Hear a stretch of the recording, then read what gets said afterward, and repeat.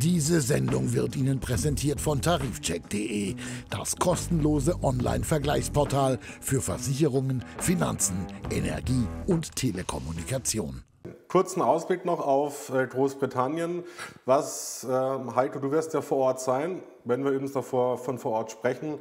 Wir gucken uns auch noch die Bilder an, die du ja aus Kanada oder die du mir gestern geschickt hast, ähm, dass wir sehen ein paar Erinnerungen von Heiko Wasser aus Kanada. Sag mal kurz ein bisschen was. Ja, der steht am Flughafen. Das ist ein Mountie, also ein Elch, ne, als, als Mountie äh, verkleidet. Steht, glaube ich, im Duty-Free-Shop. Den durfte ich aber nicht mitnehmen, weil den kriege ich nicht ins Handgepäck. ich habe aber, hab aber kleine, äh, kleine Elche mitgenommen für meine Hunde, weil die kriegen ja immer was, wenn ich nach Hause komme. Und äh, da hatte ich dann immer was im Koffer. Aber ich glaube, viel spannender ist, ich habe dir da ein Foto, das ist, das ist das Fußballstadion, was damals zur, oder das Olympiastadion, was 76 gebaut wurde was, glaube ich, zwei Jahre später schon nicht mehr funktionierte. In diesem, in diesem in, was so aussieht wie eine Skischanze, da ist die Saalkonstruktion drin, mit der das Dach aufgehen soll. Und es ist jetzt schon kaputt. Also da hat man, äh, wie so vieles in Montreal, ich liebe diese Stadt, aber es gibt kaum eine große Stadt auf dieser Welt, wo so viele Dinge kaputt sind wie da, vor allen Dingen die Straßen. Und da habe ich, glaube ich, noch eins euch geschickt von unserer alten, guten Sprecherkabine, die der Marc auch noch kennt neben der Wall of Champions, da war die Sprecherkabine, das sind alles, das sind drei Reihen Container, die man übereinander gebaut hat, mit Holztreppen zusammengezimmert. Äh, das gibt es jetzt nicht mehr, das hat man ja letztes Jahr dann geändert. Jetzt sind die Sprecherkabinen über der Boxengasse. Und das andere war einfach nur gerade die totale über vom Montreal, also von dem höchsten Berg der Stadt. Aber das war immer ganz schön, da zu sitzen, weil man da wirklich direkt die letzte Schikane und da haben wir ja oft genug auch Autos gesehen, die dann über den Körb abgehoben sind und dann mit etwas Glück noch rechtzeitig landeten, dass man noch irgendwie einlenken konnte vor der Wall of Champions. Schöne Bilder, die Kai, äh, Kai sage ich schon, Heiko uns mitgebracht hat. Sorry, jetzt bist du natürlich auch vor Ort. Marc, du bist auch. Also ihr trefft euch dann quasi eigentlich in Silverstone dann. Ähm, was können wir in Silverstone erwarten, bevor bei, bei, bei Marc die Lichter vollständig ausgehen?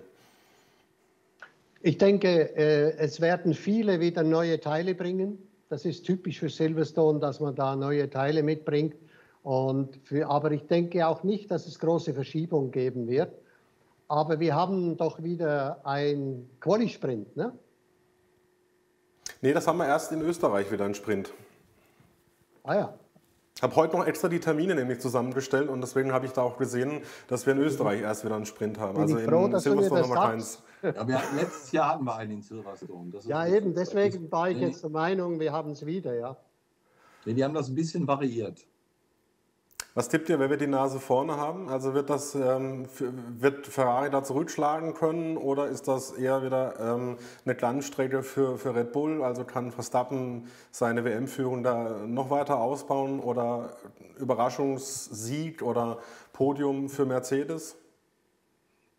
Also man geht auf jeden Fall mal mit sehr viel Spannung da rein. Denn eins dürfen wir nicht vergessen, letztes Jahr hatten wir dieses Duell direkt nach dem Start Verstappen gegen Hamilton und dann den Abflug in Kops. Und das war ja nun wirklich eine Stelle, wo man extrem schnell ist. Und äh, da werden sicherlich alle dran denken. Da gab es danach ja auch jede Menge Diskussionen. Da wurde am Funk wild hin und her gefunkt. Da wurden Strafen gefordert und äh, Strafen quasi bei Michael Masi schon vorauseilenden Gehorsam versucht zu verhindern. Dann gab es hinterher die Szene, dass Verstappen im Krankenhaus war und Lewis hat, hat zelebriert, hat dann seinen Sieg gefeiert. Das sorgte für viel böses Blut. Äh, die Boulevardpresse in England wird das, glaube ich, alles wieder ausgraben und wird das alles wieder aufs Tablett bringen, damit wir da auch dementsprechend wieder viel Öl im Feuer haben in den Tagen vor Silverstone. Also ich bin sehr gespannt auf, auf COPS 2.0 dann dieses Jahr nach dem Start. Und Heiko ist vor Ort äh, zusammen mit der gesamten RTL-Mannschaft. RTL überträgt das Rennen ähm, im Free TV wieder. Ähm, Marc, was erwartest du? Wen siehst du vorne? Ich habe es ja vorhin schon gesagt, für mich ist Ferrari auf jeder Strecke gut. Also es würde mich wundern, wenn wir nicht Ferrari auf Pole hätten. Das war jetzt nur ein kleiner Ausschnitt aus unserer Sendung. Die ganze Sendung in voller Länge gibt es auf www.champ1.de.